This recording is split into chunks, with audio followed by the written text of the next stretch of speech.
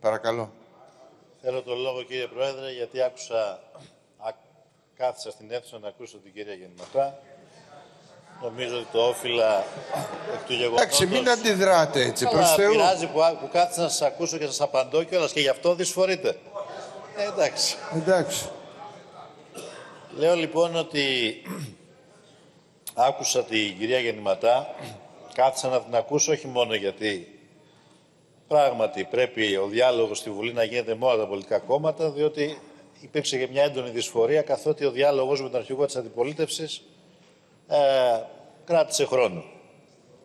Θέλω λοιπόν να επισημάνω κάποια θέματα που αφορούν την ομιλία της, και τις θέσεις τις οποίες έχει το τελευταίο διάστημα εκφράσει η ίδια αλλά και το κόμμα της, το κίνημα αλλαγής. Έχετε επιλέξει, κυρία Γεννηματά, μια στρατηγική, εμιτό, κατά την άποψη τη δική σας το κάνετε για δικό σας όφελος, αλλά μια στρατηγική ενός μονόπλευρου, μιας μονόπλευρης πολιτικής αντιπαράθεσης. Και κάνετε μια κριτική στο ΣΥΡΙΖΑ και στην κυβέρνηση, η οποία ξεπερνά ορισμένες ώρες και το πλαίσιο, αν θέλετε, μιας ε, προσωπικής κριτικής στα ενδεδειγμένα πλαίσια ενός πολιτικμένου πολιτικού διαλόγου. Δηλαδή, θέλω να πω ότι δεν κάνετε απλά πολιτική κριτική, αλλά καταφέρεστε και με βαρύτατες εκφράσεις. Βαρύτατες εκφράσεις προς εμένα προσωπικά, βαρύτατες εκφράσεις προς άλλα στελέχη του ΣΥΡΙΖΑ, που κατά την άποψή μου όσο σας γνωρίζω δεν συνάδουν και με τον πολιτικό σας πολιτισμό, τον προσωπικό σας πολιτικό πολιτισμό. Αλλά δεν θέλω να μείνω σε αυτό. Θέλω να ασκήσω πολιτική κριτική. Έχετε ως στόχο στρατηγικό, λέτε, την ήττα του ΣΥΡΙΖΑ, τη στρατηγική ήττα του ΣΥΡΙΖΑ. Και κάνετε πως δεν καταλαβαίνετε ότι η ήττα του ΣΥΡΙΖΑ σημαίνει νίκη της Νέας Δημοκρατίας και κάνετε πως δεν καταλαβαίνετε ότι η στρατηγική ήττα του ΣΥΡΙΖΑ σημαίνει στρατηγική νίκη της Νέας Δημοκρατίας. Καλά δεν τα λέω κύριε Μητσοτάκη, Εντάξει. δεν έχω δίκιο. Παρακαλώ, υπάρχει συνεννόηση. Όλοι καταλαβαίνουν όλα. Παρακαλώ. Φοβάμαι λοιπόν Ήσυχα. κυρία Γεννηματά ότι επιμένοντας αυτή τη ρητορική και κυρίως όταν επιμένετε να την ενισχύετε και με βαρύτατους χαρακτηρισμούς δεν κάνετε τίποτα άλλο από το να επιταχύνετε τη στρατηγική της παράταξής σας. Και θέλω να σας πω, να σας θυμίσω δύο πράγματα. Πρώτον, εμείς βρισκόμαστε εδώ διότι ο ελληνικός λαός το θέλησε. Και δεν το θέλησε μια φορά. Αναφέρεστε διαρκώς και εσείς και ο κύριος Μητσοτάκης στο δημοψήφισμα του 2015. Ξεχνάτε όμως, η θελημένα, ότι το Σεπτέμβριο του 2015 θέσαμε στην κρίση του ελληνικού λαού τον δύσκολο συμβιβασμό που κάναμε με τους θεσμούς. Και ο ελληνικός λαός μας έδωσε ξανά την εντολή να βρεθούμε σε αυτά τα έδρανα. Δεν κάναμε πραξικόπημα, ούτε βρεθήκαμε με τη δική μας, κάλπο, πώς θα το πω, με κόλπα στη θέση που βρισκόμαστε εδώ. Ο ελληνικός λαός μας έδωσε αυτή την εντολή.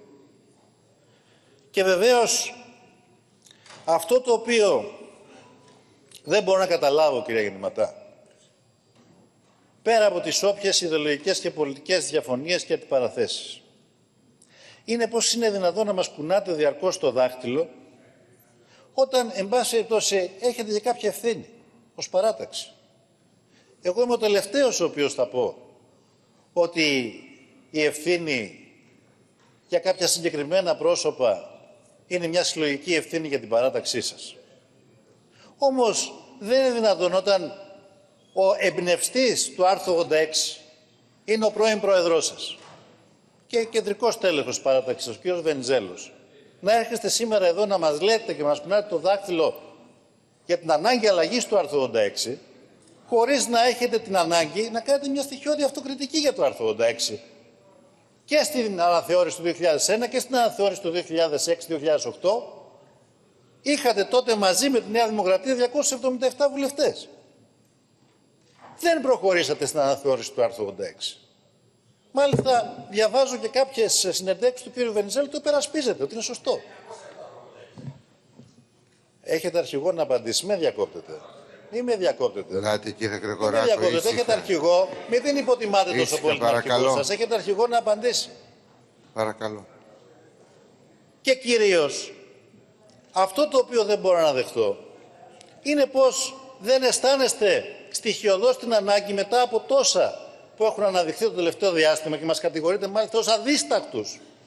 Αδίστακτους. Είμαστε αδίστακτοι. Δεν αισθάνεστε την ανάγκη όταν έχει βγει εκτός από τον Τζοχατζόπουλο και ο Γιάννης Παπαντονίου, όπου ο εισηγητής σας 1,5 χρόνο πριν έλεγε ότι δεν υπάρχει κάποιο στοιχείο που να προκύπτει που να εμπλέκει στη συγκεκριμένη υπόθεση.